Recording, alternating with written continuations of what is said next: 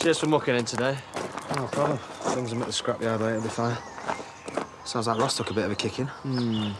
I reckon Ross was meant to take a bit of a kicking. Well, that fixed the fight. Uh, just as well he didn't. Some people had quite a bit riding on it. What time's this thing kick off tonight, then? Hello? What? you party? you still moving in or what? Yeah, yeah, if I can get the rest of my stuff. I don't see what the big problem is. It's just my mum, all right? She, uh, she knows about me and Vanessa. What, you told her about the baby? Oh, she's just got this flipping way of seeing right through me, hasn't she? Yeah, because you're an awful liar. We can't keep her in on it now. I'll be fine, don't worry.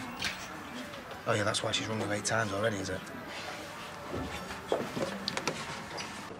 Oh, so you do exist? Only you and Adam seem suddenly vanish when there's shifting to be done. Oh, yeah, because organising a party is well more important than making sure the scrapyard don't go bust, innit? You see, you are learning. Oh, and if you do see Adam, tell him to get his backside down here if he still wants to move in.